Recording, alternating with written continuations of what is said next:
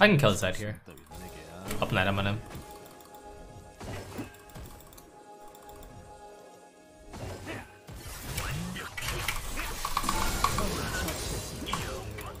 God damn, it's fucking owned him.